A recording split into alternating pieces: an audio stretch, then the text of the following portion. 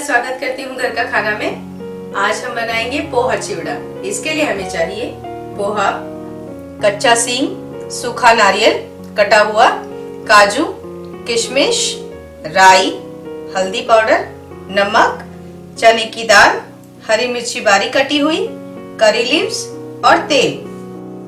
Pan लेंगे।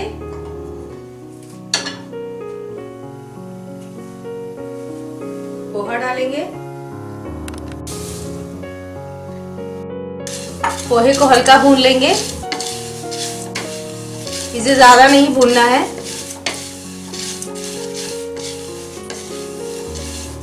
पोहे को हल्का भून लिया है हमने। अब हम इसे निकाल लेते हैं।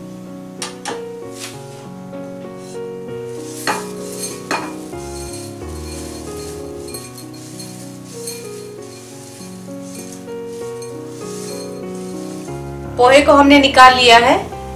अब हम पैन में तेल डालेंगे। तेल को गर्म होने देंगे।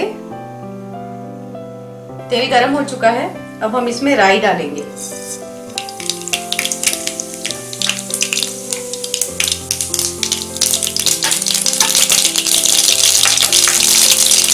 राई फूट चुकी है। अब हम इसमें सींग डालेंगे।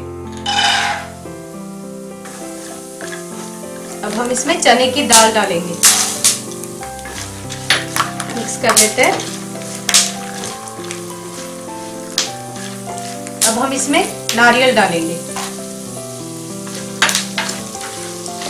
मिक्स कर लेते हैं। अब हम इसमें काजू डालेंगे। मिक्स कर लेते हैं। इसे मीडियम आँच पर भुने और लगातार हिलाते रहें।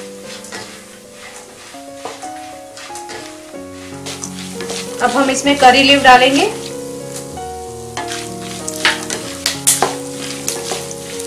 हरी मिर्ची डालेंगे।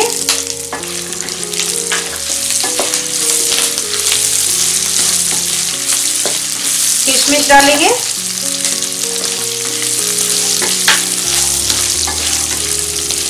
अब हम इसमें हल्दी डालेंगे। एक चम्मच हल्दी पाउडर। एक चम्मच नमक मिक्स कर लेंगे।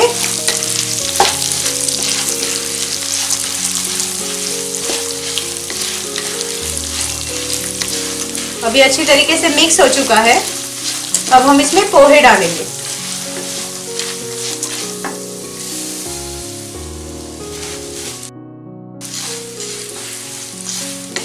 पोहे को हल्के हाथ से मिक्स करें। अभी अच्छी तरीके से मिक्स हो चुका है। हमारा पोहा तैयार हो चुका है। अब हम इसे सर्व करेंगे।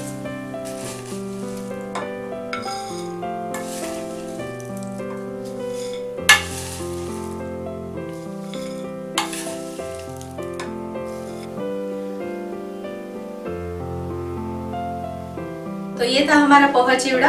आप इसे बनाकर स्टोर करके रख सकते हैं। ये चिवड़ा तीन महीने तक खराब नहीं होता है।